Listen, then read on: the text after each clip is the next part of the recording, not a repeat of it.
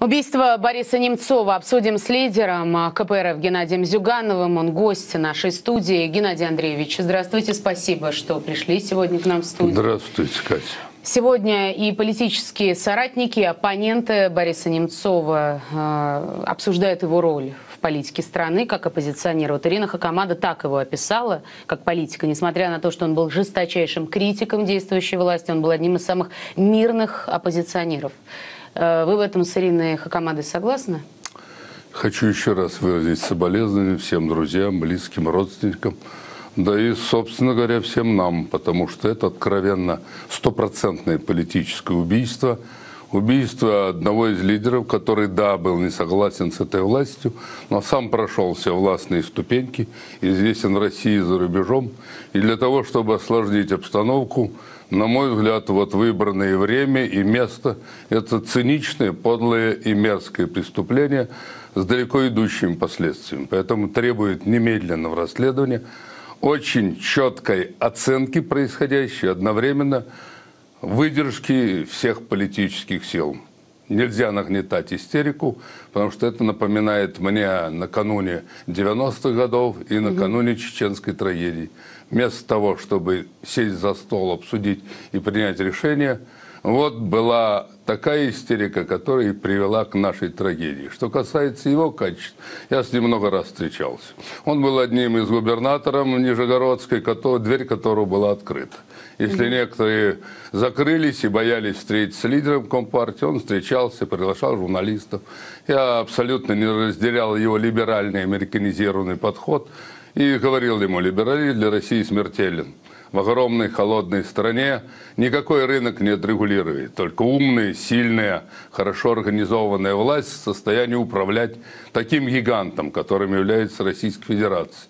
Американский вариант нам не подходит. Но вот эта провокация для американцев огромный подарок. Я сейчас внимательно посмотрел всю западную прессу и ахнул. Во-первых, все делают для того, чтобы замазать свои грехи и преступления, которые они творили в последнее время везде, от Афгана до Ливии, от Югославии до братской Украины. Все делают для того, чтобы забыли о Боинге, которые они вместе с украинской, с украинской властью грохнули, и пытаются все раскачать у нас в России, свалив на Кремль. Но это полная глупость. А возможно будет раскачать внутриполитическую обстановку? Я хочу сказать, надо э, власти принимать быстро, энергично и грамотные меры. На мой взгляд, надо было немедленно в Кремле под руководством Путина собрать самых влиятельных политиков и договориться о порядке дальнейших действий. Я бы не, наст... не стал настаивать на а, проведение вот того марша, который они завтра собираются проводить к, ме- к месту гибели. А потому что, э, если посмотрите, все самые крупные страшные события за последние сто лет начинались, казалось бы, вначале с небольших преступлений и провокаций. Да, убили герцога Фердинанда э, в Сербии, но затем все это вылилось в Первую мировую войну. Фашисты организовали руками Вандерлюбе полусумасшедшего поджог Христа, а за этим последовал расстрел коммунистов, социалистов отправили концлагеря и стали жарить на кострах целые народы, развязав мировую бойню. Если посмотрите на американцев, это высшего класса мастера проведения такого рода провокаций. Все от войны с Испанией, когда они сами подорвали свой крейсер на рейде в порту Гавани до Танкинского залива, откуда начиналась война со Вьетнамом. И если вы посмотрите и ситуацию на Украине, ведь вначале погиб Гангадзе, а потом они притащили свой спецназ и вместе с боевиками расстреливали Беркут. А затем, захватив власть, отдали приказ расстреливать целые города. И Донецк, и Луганск, и Славянск, и Краматорск. А теперь пытаются и нам раскачать ситуацию, потому что санкции до конца не подействовали. В Минске вроде бы договорились. Вот, Боинг не спасает положение, всем становится ясно, кто что. Очень важно дестабилизировать ситуацию в России. Если вы проводите какие-то массовки, достаточно достаточно всего несколько инцидентов, чтобы там пошло и поехало и покатилось. Еще, вот Петр, на, Петр... еще Катя, один угу. случай. Ведь Чечня начиналась с того, что те, кто назывался демократом, приехали, уломали Дудаева, он служил при Балтике. Тот приехал своими подельниками, разгромили Верховный Совет, и председателя горсовета застрелили в кабинете и выбросили из окна. И после этого, вместо принять жесткие меры со стороны власти, туда послали э, представители, отдали оружие, которое хватит вооружить две дивизии. Вот так начиналась и чеченская трагедия. Да и, собственно говоря, и 91 год начинался с того, что вместо диалога за нормальным круглым столом организовали эту манифестацию, погибло три наших соотечественника, им через два дня Горбачев присвоил звание героев Советского Союза, а потом расстреляли Дом Советов, и покатилось, и пошло. В одной только чеченской войне ухлопали 120 тысяч. Сегодня Поэтому уже даже представитель... надо не допускать этого, срочно принимать меры. Я внес предложение немедленно обсудить с лидерами и провести открытую трибуну, Нарышкин это проводит, для того, чтобы договориться о порядке действий. Пытаются раскачать и взорвать нашу страну. Я понимаю, почему но мы обязаны все сделать, чтобы не повторить свои трагедии. Сегодня генерал Владимир Маркин уже использовал э, выражение, которое в свое время э, озвучивал и Владимир Путин о сакральной жертве. Вот мой, мой вопрос, э, можно ли считать Бориса Немцова вот той самой сакральной жертвой, о которой говорил Путин. И э, сейчас понятно, когда соболезнования будут высказаны, эмоциональная составляющая отойдет на второй план, все внимание будет к тому, как Россия это громкое убийство будет расследовать. Борис Немцов при жизни много сделал для того, чтобы обратить внимание на дело Сергея Магнитского и призывал к объективному, публичному расследованию этого дела. Может ли так статься, что убийство вот этой ночи с пятницы на субботу Бориса Немцова станет началом а, так называемого дела Немцова? А, в свое время дело Магнитского стало поводом для введения антироссийских санкций. Можем ли мы ждать вот такого дела Немцова? Генерал Маркин опытный человек и прекрасно знает свое дело. На мой взгляд, он совершенно прав. Почему прав? С точки зрения политической, Немцов мог отчасти влиять на ситуацию в Ярославской области. Масс нет, избиратель не особо не поддерживал. Каких-то новых идей, кроме и дальше давайте распродавать, тоже нет. Что касается Украины, его позиции в корне расходятся с интересами нашей державы, но совпадает с американской и натовской. В этой связи он как человек известный и в России, и за рубежом, очень подходящая кандидатура для того, чтобы дальше нагнетать истерику, усиливать давление на Кремль, на нашу страну и парализовать возможность управления. Вот тут очень важно, еще раз подчеркиваю, кто-то может не разделять мой подход, не дрогнуть и проводить дальнейшую политику на укрепление нашей независимости и самостоятельности. Но одной внешней политики мало – нужно внутри страны качественно иной нужен и социально-экономический, и финансовый курс. Надо все сделать, чтобы решить кадровые проблемы. Надо немедленно принять меры для оживления производства и поддержки. Я поражаюсь. Есть 5-6 вопросов, которые надо решать немедленно, но даже я не вижу четкого обозначения этих приоритетов со стороны правительства. Надо кормить страну, деревне надо заниматься миллиардерам, банкирам 1 триллион выделили, а на село 50 миллиардов. Рублю сок двое, 25. Вам не хватит на солярку, а на носу посевная. Стройки останавливаются под эти 15-17%, а это значит кредит по 30, никто ничего не возьмет. Завтра будет еще один миллион безработных, и все вместе взятые. Плюс вот такого рода провокации будут наслаиваться, накладываться, и это повод для того, чтобы организовать в Москве очередной Майдан. Мы уберегли за последнее время страну дважды, но бдительность нельзя терять. Петр Порошенко назвал э, в социальных сетях э, Немцова мостиком между Россией и Украиной, и сейчас этот мостик уничтожен. уничтожен. Вы с этой ролью Бориса Немцова согласны, мостика между Россией и Украиной? Ну, Борис Немцов был советником у Ющенко.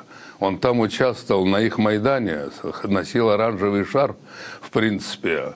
Что касается мостика, мостик может быть только тот, который понимает, что без мира и признания Новороссии не решить ни одной проблемы.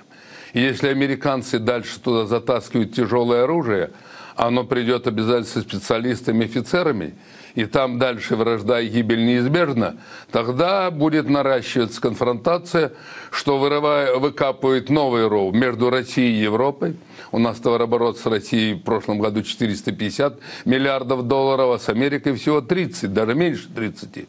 Тогда ров новый между русскими и украинцами, а мы один народ, русские, украинцы, белорусы. И тогда у нас возникают проблемы, которые будешь решать 50 лет, и толком не решишь.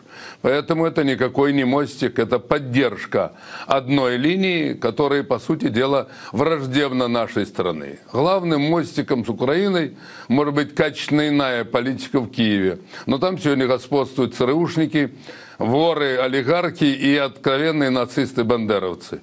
И то, что мы активно поддерживаем Новороссию и Донбасс, это вообще говоря исключительно важно. Почему? Потому что если там закрепятся натовцы, завтра вы перестанете спать. Не устаю 20 раз повторять, если натовские ракеты появятся под Харьковом, до центра управления в Москве они летят меньше пяти минут. Вам выведут всю систему управления, и вы проснетесь даже штаны не успела одеть, как вас обесточит полностью. Геннадий Андреевич, давайте вот все-таки к э, преступлению вернемся и к версиям этого убийства. А, рассматривается несколько версий от личных до политических. Если мы будем останавливаться на политической версии убийства Бориса Немцова, кому это убийство а, могло быть, на ваш взгляд, выгодно? Катя, ну давайте разбираться. Кремлю категорически невыгодно. Почему?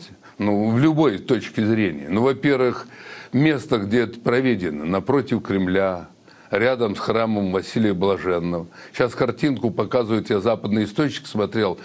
Кремль показывают и храм, и эту трагедию. С точки зрения управленческой он никому особо не мешал. Отдельные факты, собственно говоря, не понуждают такого рода действия. Если брать нашу официальную власть, она, она весьма опытна. Ей удалось локализовать ситуацию в Чечне. Ведь Рамзан Кадыров из кусков собрал Чечню. Уберечь Дагестан от того нашествия, которое организовывали американцы. Мы уберегли Карачаю-Черкесию от потрясений, там уникальный опыт. Значит, власть в этом отношении обладает. И, собственно говоря, то, что происходит на Украине, Порошенко должен вместе с, вынужден вместе с американцами капитулировать. В этом отношении власти такого рода скандал или такого рода несчастье, ну, категорически невыгодно. Партии власти тем более с финансово-хозяйственной политикой не справляется, рубль, под, рубль подешевел вдвое, ситуация на селе аховая, на стройках то же самое, малый и средний бизнес бедствует, ничего. Что касается оппозиции, тем более – мы предлагали предлагаем сесть, обсудить. Готова программа антикризисных мер мы предложили. Я официально ко всей стране обратился открытым письмом против русофобии и антисоветизма.